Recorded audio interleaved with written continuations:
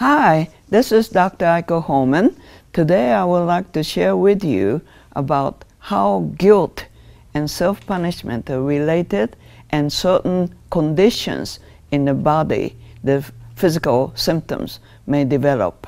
For example, autoimmune disorder like uh, uh, arthritis, uh, diabetes, Parkinson's, uh, MS, you know, multiple sclerosis, myasthenia gravis, and a few other things that are related to uh, autoimmune disorder would be related to whether it is con conscious or not unconscious self-punishment.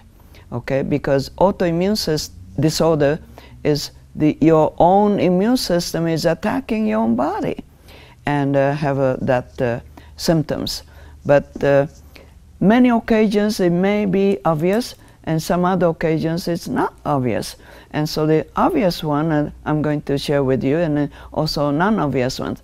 Uh, one man who was in a wheelchair already with MS and while he was young, young boy, his father in drunken rage would beat his mother up almost to the bloody mess. And he tried to, you know, as a young boy, tried to come between them, and he was beaten up. And so he was, he said to himself, when I grow up, I'm going to kill him. Uh, you know, that, that rage and anger. And uh, later, as he became uh, a little older, and he uh, earned some money, and uh, he uh, bought a handgun and he gave it to his mother and he said when the, you, you know husband tried to beat him up again be sure to use it in self-defense.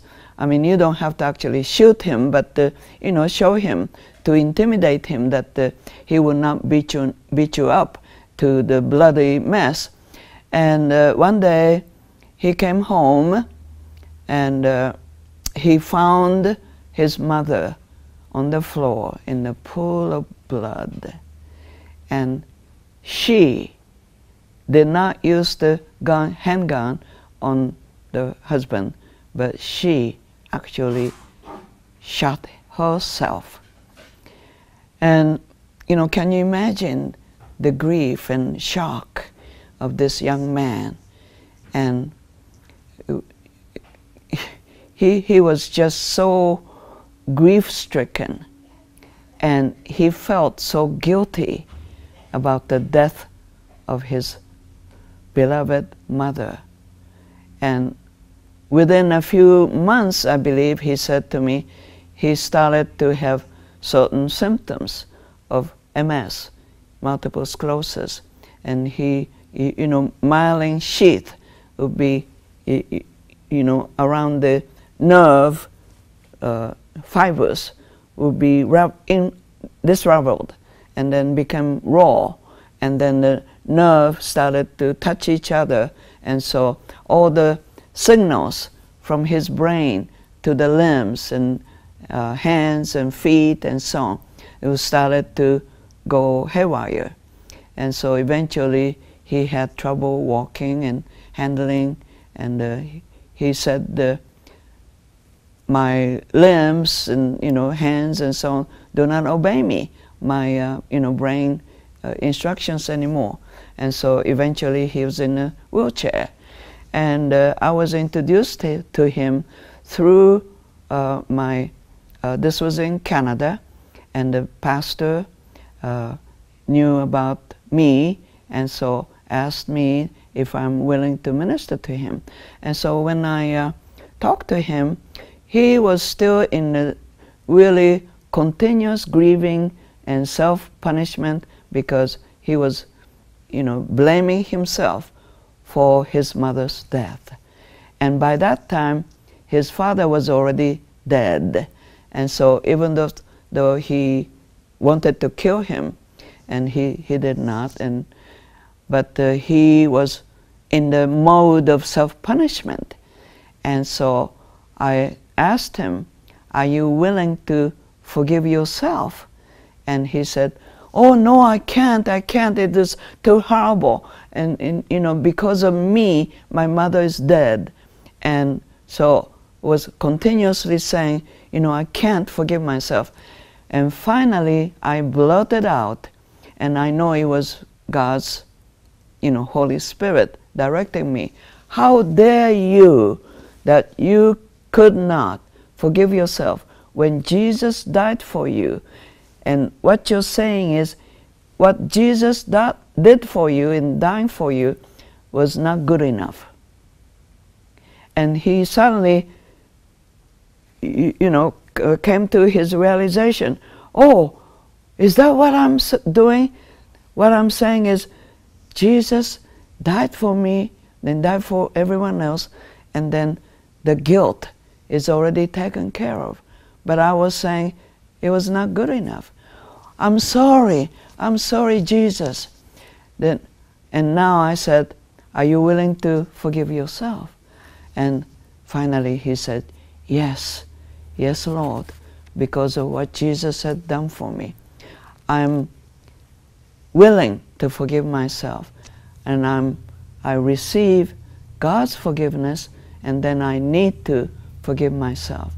And the moment that he did so, and that's something shifted in the spirit. And then I said, in the name of Jesus Christ of Nazareth, Yeshua Mashiach, and you know, uh, Yeshua is, you know, the Hebrew word of Jesus. And I release you from that self-condemnation and self-punishment, and that caused the MS, multiple sclerosis condition. And so I now said, and the potter's wheel, I had the, the you know, the CD already made, and so he was able to receive the restoration and recreation of the myelin sheath over the nerves. And so I, I told him to just sit quietly and allow the Holy Spirit to give him the vision of the myelin sheath being restored over the every nerve, uh, you know, cells. And he actually sensed almost like a vision of the myelin sheath being restored. And so uh, he was saying, oh, thank you, Jesus. Thank you, Lord. And so it was actually happening in, in the, his vision. And so when that vision was completed and the myelin sheath was restored, I said, okay, get up and walk. And he said, I can't. And so I said, I'll help you. And so I helped him get up from the wheelchair and made one step. I was holding his arm, next step, another step, and so on. And then pretty soon, I took my arm away from his arm.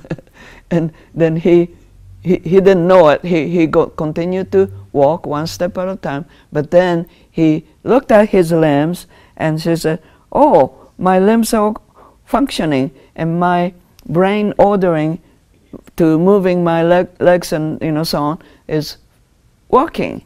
See, previously his legs are not obeying the orders, and now he saw himself walking, and, and without me assisting, he started to walk normally, and uh, oh, praise the Lord! He's shouting and jumping up and down, and pretty soon he was running.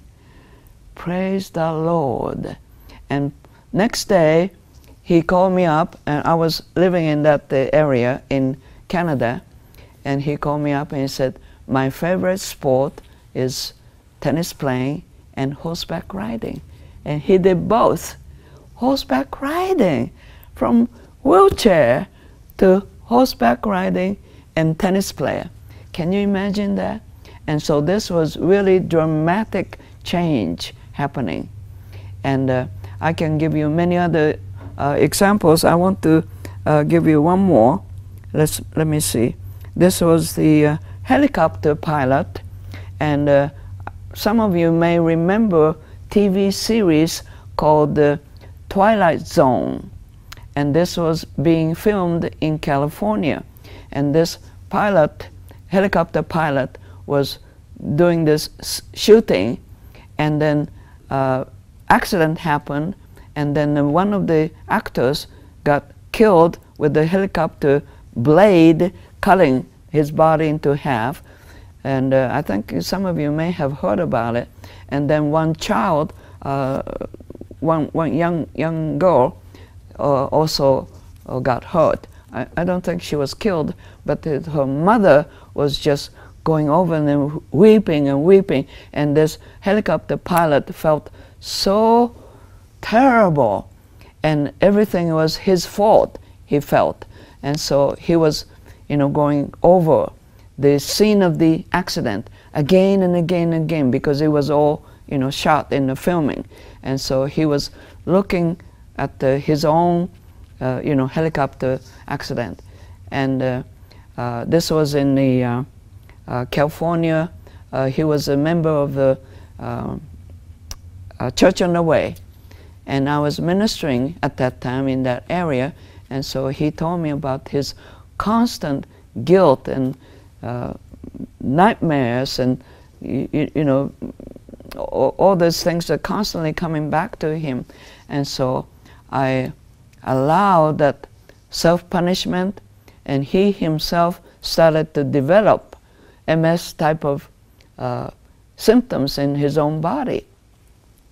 And he was not as bad as the, you know, going uh, into uh, wheelchair like the other man, but uh, he was instantly set free and uh, canceled and nullified the power of that constant self-punishment, the uh, guilt trip.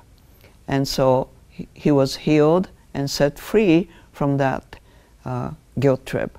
And so the, the another one was the, the this there are many instances, but this one is a lady who discovered the, the cancerous tumor in her womb, and uh, she came to me and said, "Do you think God is punishing me?" And so I said, "What makes you think so?" And she said, uh, uh, "Because I had three abortions." and uh, did you repent? And of course I repented every day, every day, but I still feel guilty. And uh, uh, my doctors found a cancerous tumor in my uh, womb, uterus, and, and it's inoperable, she said. And so I said, you have the self-punishment, the guilt trip, the enemy is constantly plaguing you and putting that uh, guilt over you. And so I told her to repent and ask the Holy Spirit to erase the sin record of her, you know, uh, abortions. And uh, then I made her repeat after me and said, now my sin record is totally wiped out by the precious blood of Jesus and from Satan's record. Therefore, Satan cannot put uh, blame against me because the record is totally wiped out by the blood of Jesus and my record it became as white as snow and therefore I command you Satan that you can no longer come against me you have no legal grounds to put any sicknesses or diseases upon me. And so I made her repeat that and then her countenance changed. And then she felt great about that and she went home with a you know different attitude. And I believe it was two three days later she called me and she said guess what I felt like some something like a, a, a pain of pushing out. It's almost like a labor pain pushing something out of my uterus. And something came out. I caught it in a uh, you know bathroom and she found it was like a piece of liver coming out of her uterus. And she picked it up in the plastic bag and she took it to her doctor's lab and they discovered it was a cancerous tumor came out of her own uterus, automatically on its own accord. No medication, no uh, surgery, and it just came out of its own accord.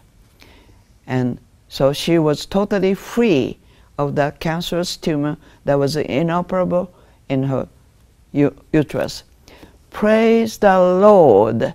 Once she felt totally free of that condemnation of guilt and self punishment, the enemy, and because of the sin record, is totally wiped out. So she had totally free of guilt and Satan could not do anything about it after God took that out. Amen.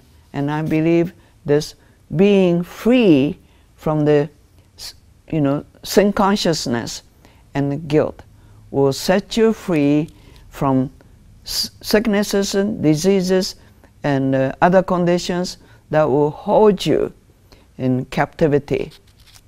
Okay, so this is called the, the guilt trips, and there's a uh, little booklet available, and I, I would like you to take the heed from the Holy Spirit that once you are set free from that guilt and your sin record will be wiped out by the precious blood of Jesus and then you cannot be under the condemnation.